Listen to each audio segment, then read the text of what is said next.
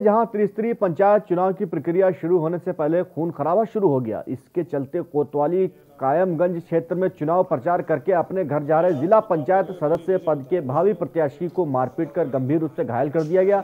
उन्होंने मामले की तहरीर थाने में दे दी है। जिला पंचायत सदस्य पद के भावी प्रत्याशी एवं महिंद्रा आई केयर हॉस्पिटल के मालिक महेंद्र गुप्ता ने बताया कि वो शुक्रवार को देर रात जिला पंचायत सदस्य पद का चुनाव प्रचार कर अपने घर कार से वापस जा रहे थे। उसी समय पत्थरों वाली मस्जिद के पास मसूद खां बैटरी वाले और दर्जनों लोगों ने उसके ऊपर हमला बोल दिया। ये है पैर में। इनके रान में भी ये है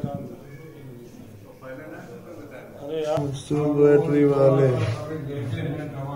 उन्होंने पहले नौ लोग थे और मुँह पे कपड़ा बांधे हुए थे। मसूद बैटरी वाले और उनका लड़का और उनका चचा का लड़का मुँह पे कपड़ा नहीं बांधे था। उनने खींचा। फिर मेरे सर पे लोहे की राड मारी और सबने मुझे डंडों से लाठी से तो क्या तुम्हारा ऐसा पूर्व पहले विवाद था? और फायर कर दिया हमारे वो। वजह क्या थी? फ़िलहाल इसी खबर पे हमारे साथ में हमारे संवाददाता फरुखाबाद से चंद्रपाल जुड़ गए। चंद्रपाल, क्या मामला है? पूरा क्या लगता है कि चुनाव को लेकर इस, जो प्रत्याशी है, ये हमला किया गया है या कुछ इनकी आपसी रंजिश चल रही थी? चुनाव को लेके हमला किया गया है, कोई आपसी रंजिश नहीं चल रही है।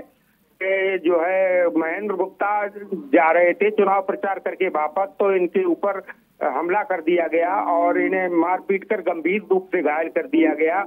डॉक्टर महेंद्र गुप्ता वैसे भी समाज सेवी व्यक्ति हैं और इनकी बहुत बहुचर्चित व्यक्ति है। तो जिला पंचायत सदस्य पद के लिए जो है, वार्ड नंबर एक कायमगंज से प्रत्याशी हैं।